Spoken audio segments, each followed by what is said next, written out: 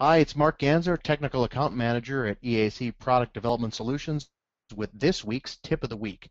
What we're going to do today is look at using relations to streamline family tables. And the best way to really explain what I mean by that is show you an example. Now here we've got one of the simplest seed models for your average family table of Bolt.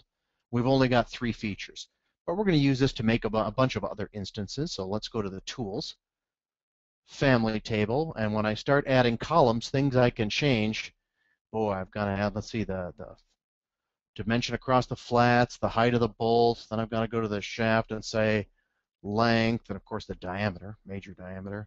Oh, and if we've got a cosmetic thread on there, which, by the way, if we turn it to no hidden line, you can see that there. We're going to need the thread length. We're going to need the minor diameter. Okay. So we've already got, as you can see, we're already running out of real estate with this number of columns. And this is a simple example. And I'm sure we've all seen examples of uh, family tables where you got 20, 30 columns going uh, down the line. Well, really, on an example like this, everything is really, the only things we care about are the dimension of the bolt and the, the, high, the uh, length of the bolt itself. Every, all the other parameters we're looking at here are really dependent upon the major diameter. So why can't we do that with relations instead and keep this a bit cleaner? Well, let's show you how that might work. Let's switch over to a different model here. Actually, the same model. Clean. All right, so let's start this over again. Let's create some relations instead to start out with. And I'll go to the same Tools tab. We'll go to Relations. And like all good people doing relations, let's put dividers in here.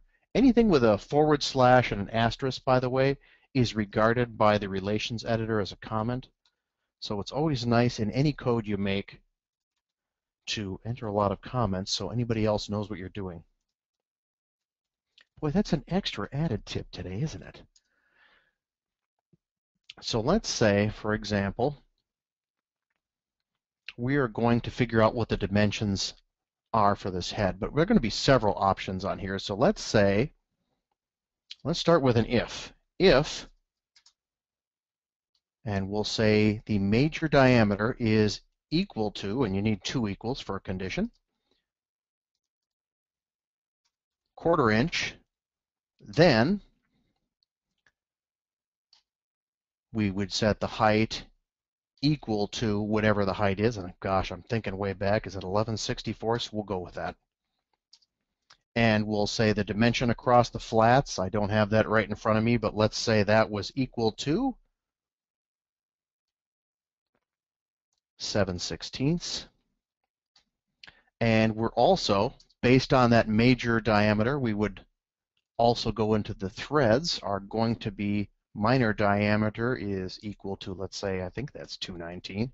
I'll get lots of hate mail if I'm wrong.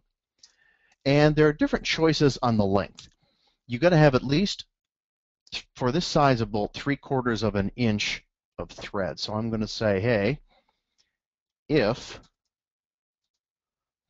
the length is less than or equal to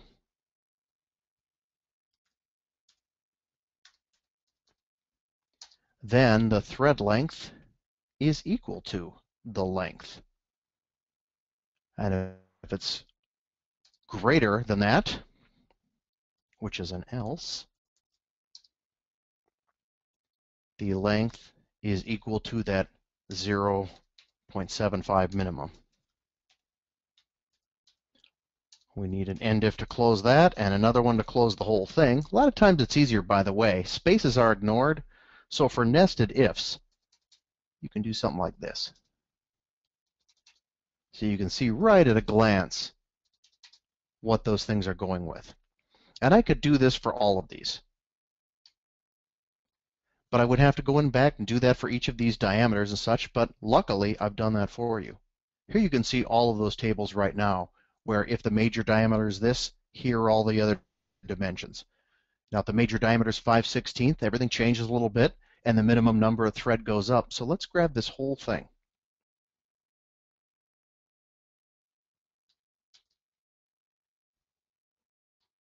And let's go back into that relations editor, get rid of that whole schmear, We'll paste what we have in. So now we've done everything from a quarter inch all the way up to 7 eighths. And I'm assuming, in this case, by the way, UNC. But you could take this further. You could uh, put UNF in here. You could go for all the other intermediate smaller lengths, you know, number 8, number 10, whatever you wanted to do. So now with that being done, all we really have to enter on our family table are a couple things. We need to know, and let's grab this guy, the length and that major diameter. Because all of the other parameters really are based on that, like they really would be in any bolt. So now when I go in here and I create any instance, I've just got to say, well, how big do I want the length? What's the major diameter, the nominal thread size? We could do this all day long, inch and a half long. Maybe it's a half inch bolt.